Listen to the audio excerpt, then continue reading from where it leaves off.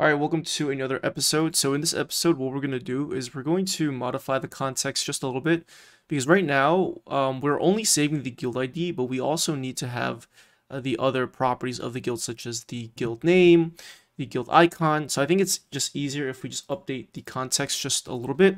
So I'm going to go inside the uh, the Discord dashboard React project. So we're in the front end code right now, and we're going to go into utils uh, contexts, guild context. And you can see that right over here, we have the guild ID.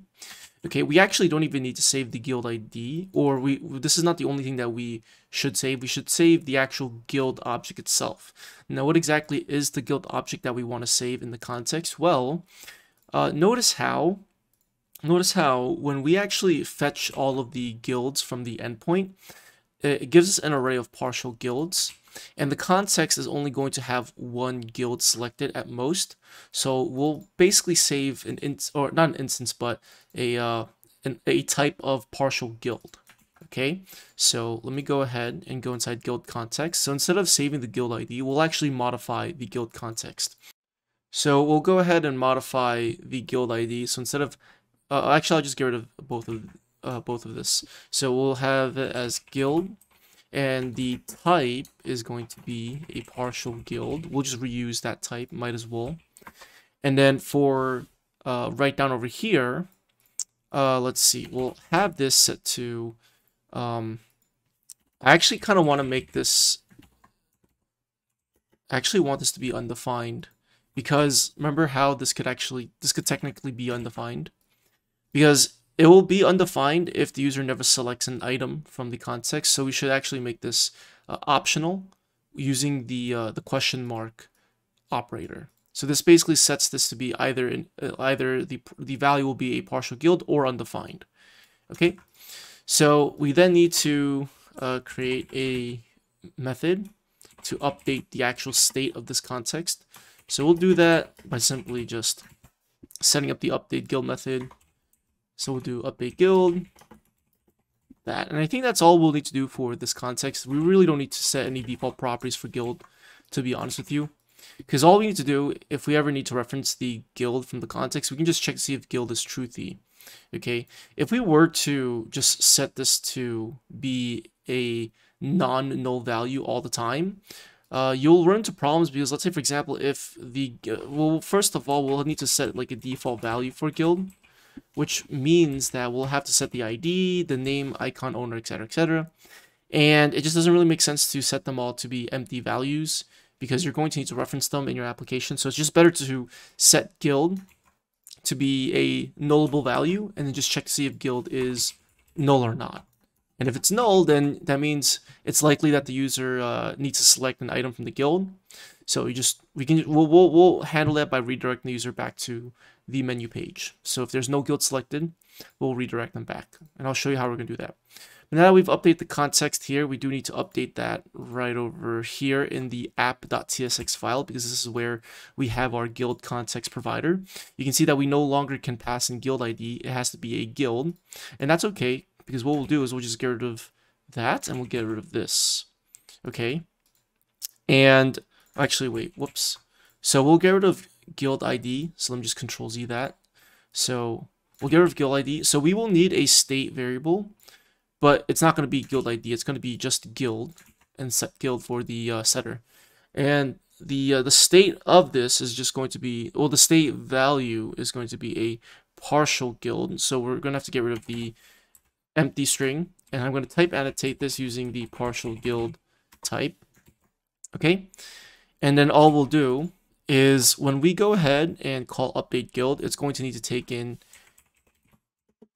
a parameter that has a type part that is of type partial guild. And all we'll do is we'll just call set guild and just pass in guild over there. And then uh, let's see, and this should be called update guild instead. There we go. Now, the reason why we're still getting this linting issue is because we need to update something with the guild context yeah, right over here inside the update guild um, uh, property definition. Uh, inside the uh, the parentheses, we do need to define the variable type or the the parameter type. So that should fix that. Okay, so we have our guild context all good to go. We have our app.tsx TSX file all good to go. We just had to modify that real quick. So just to uh, give you a rundown. Oh, actually, let me see if I can do this. Uh, oh, wait, whoops. I also forgot. We, we do actually need to pass in guild, though. So let's do that. Okay. Guild could be uh, undefined, though, so we do need to check to see uh, wherever we need to reference the guild, we do need to check to see if the guild is uh, undefined or not. Okay, so like I said, this is literally just the same thing. Uh, the only difference is the, the same thing as when we were updating the guild ID. The only difference is we're now just updating the guild object instead of just updating the guild ID. And remember, every single time we're going to call update guild, um, it seems like we actually call it whenever we uh, select something from the menu. So let's go to the menu page right over here. And you can see we also have an error here too because now it's no longer update guild ID. It's just update guild. So let's change that. So this is inside the menu page. Okay. So we need to change literally everything. So let's do that. So let's first we updated this uh, value or the variable that's given from the use context hook. We're then going to go ahead and update the, the, the update guild call. And we need to obviously change this because we're not passing in a guild ID, we're passing in a partial guild object. So let's fix that. And then when we call handle click, instead of passing guild ID, we're going to pass in guild. And remember, guild is a partial guild type. This is an element that comes from the guilds array, which is fetched from the API. And we fetch that using the use fetch guilds, which is a hook that we created. So hopefully everything is making sense. If it hadn't if it hadn't made sense until now, hopefully the uh, the repetitive explanation of everything is starting to you know starting to make sense. But I think this is all we need to worry about right now. Let me see category page also. Uh, yeah, because we are getting guild ID. Not sure why there's not. It's not giving me a red red line though or red issue. Like a red uh like a red error line. But anyways, that's okay. All right, so let's close the category page and what we need to do now is we need to go inside the navigation bar or app bar sorry app bar. Okay? And we need to go ahead and inside this app bar remember the app bar is also wrapped inside the provider the guild context provider. So we can call use context and we're going to pass in the guild context right over here. Okay remember this is the guild context that we created. Okay, it's not the provider or the consumer, it's just the guild context itself. Okay, and we're going to go ahead and get the guild. And one thing that's cool is that because this uh, app bar is wrapped inside the provider, uh, what we can do is we can actually check to see if guild is defined or not. So, for example, first let me just console log guild real quick. If I go ahead and open up the logs right now, you're going to see that uh, right over here, not this one, but this value over here, you can see that's coming from appbar.tsx on line 8. It's it's undefined, okay, which means that there's no context. Okay? Now watch what happens if I go to the menu page. Okay?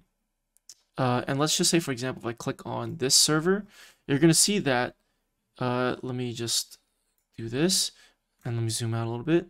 You can see that now on line 8, it's actually logging a guild. And the reason why this is very important is because remember, if the guild is not selected, then the user should be redirected to the menu page. The reason why this is very important to understand is because um, this is going to this is going to prevent the user from being able to modify anything until they actually select a guild. In previous dashboard tutorials that I've made uh, over the past year or so, we actually had the guild ID in the route parameter, and that actually I actually didn't realize, but it's actually not really good to do that because anyone can just paste in any guild ID, and you'll be and if you don't protect that, right? If you don't protect that page, or if you don't like handle it by saying oh 404 not found then anyone can access anything with any random guild id so you're not so you'd have to basically add extra code to validate that. In this situation we actually don't even need to worry about validating this because if you think about it this menu page is only going to ever display guilds that the user is in that they uh, that the bot is also in right? And uh, that the user's also that the user also has correct permissions as well. In, in this case, the admin permission. So they can only select these uh, these guilds, which will only give us uh, the correct guild IDs or the correct guild objects. Okay, so when we use those guild, when we use the selected guild, it'll actually make an API call with the correct with the correct guild ID, so we don't have to worry about validating. We still should validate on the backend because you can never trust, uh, you can never really trust client-side code, or you can never trust like you know requests made from the client. You always have to validate client and backend, but we'll do that later. Okay, but I just wanted to explain that real quick. So if I refresh right now, you're gonna see that it's gonna give us undefined all right, so to actually redirect the user back to the menu page if there's no guild selected, which is obviously going to happen if they try to visit any of the routes directly. Like let's say, for example, if they were to paste the route into the address bar like this, without any guild selection, then yeah, the context will not have a guild selected, which means that they should not be able to update anything. So to redirect the, the user back to the menu, what we're going to do is we're going to go ahead and first, uh, let's see. I'm going to do this actually. Uh, I can actually do this. So we can do return guild and so we're going to use a ternary operator. So if guild is truthy, it's going to render this app bar style. However, if it's not truthy, there's actually a component called navigate, and this is, I think, a new a new feature that's part of React Router version 6. And we can actually use this to, uh, we can actually use this to navigate back to the menu.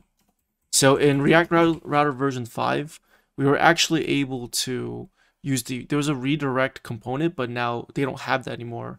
So it's now navigate. I think they actually removed it entirely. Okay so watch this. If i refresh this page you're gonna see because there's no guild then that means that the menu uh, it'll, it'll navigate back us to the it'll navigate us back to the menu. But i can still click on any server i want. All right so hopefully that makes sense and hopefully that makes sense with the navigate uh, component, all we're really doing is first we're specifying this replace attribute, this prop, which basically will re replace the history. So if we were to go back, it would land us back to the original page. Uh, and then we're going to go ahead and specify the route we want to push to, which is just menu. This could be any route, but obviously menu makes the most sense. Okay, the last thing that we're going to do is we're going to go ahead and obviously get the correct uh, avatar and the correct guild name. And that's very easy. Since we already know guild is truthy at this point, we can easily just reference guild dot name like that. You can see it says configuring BMW server, and you can add some custom styles if you want. Let's say if you want to add like a custom style to the guild name text, like change it to a different color, you could do that.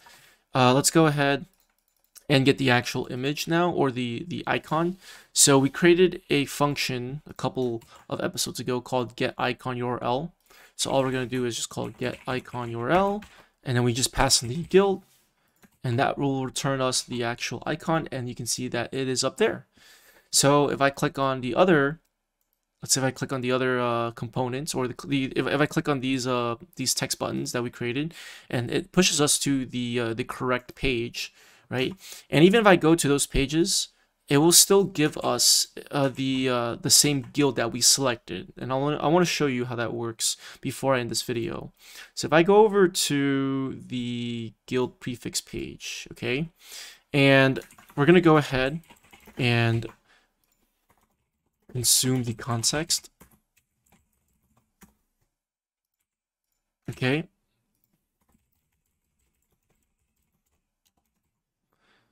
And so right now, uh, let me open up the logs. Okay, so right now, uh, let's restart this all again. So if I refresh, it should bring us back to the menu page. Perfect. If I click on the first server, you can see that it shows the logs in the console. If I click on command prefix, it still shows the guild. Uh, and you can see that the guild, let me open that up again.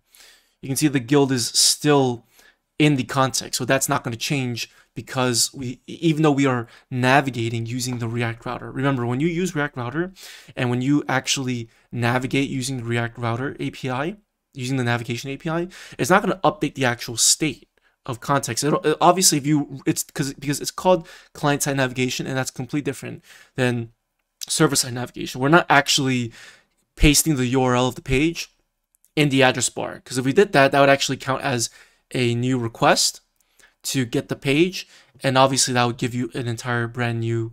Uh, it, it would basically reset the state if you think about it. All right, so hopefully that makes sense, and I think that's all we'll really need to worry about for now. Um, I don't think we'll need to worry about the the guild being undefined because we are checking that inside app bar.